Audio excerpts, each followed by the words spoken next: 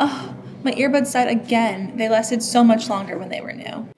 Have you ever experienced this? If you have, you're not alone.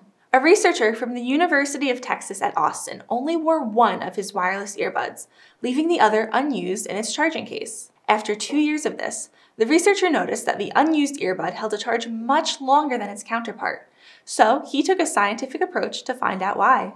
At the National Synchrotron Light Source 2, the researcher and his collaborators used ultra-bright X-rays to study the nanoscale structure of the earbud batteries. They found several small regions within the battery that behaved differently. It turns out, packing a battery, Bluetooth antennas, microphones, and other circuits into an earbud-sized space has consequences. The battery's proximity to other electronics created a challenging microenvironment that damaged the battery over time.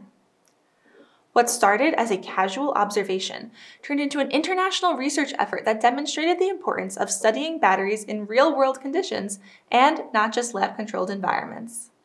Future X ray studies like this could help build better batteries for technologies that we rely on every day, like phones, electric vehicles, and even wireless earbuds.